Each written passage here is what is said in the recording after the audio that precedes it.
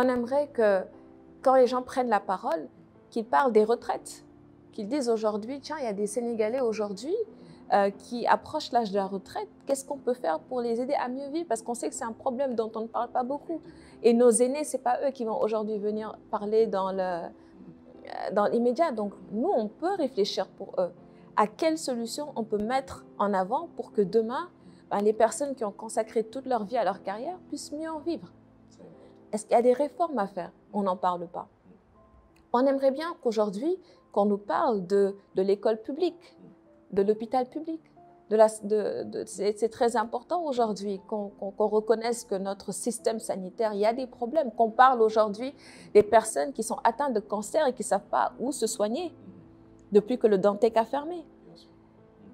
Quand on nous parle aujourd'hui des, des, personnes qui souffrent d'insuffisance de, rénale, qui ont besoin aujourd'hui euh, d'aller faire une dialyse, qui n'en ont pas les moyens, qui ne savent pas comment faire. Ces gens, ils nous regardent en disant, mais est-ce que je suis dans le même pays que ces hommes politiques qui parlent?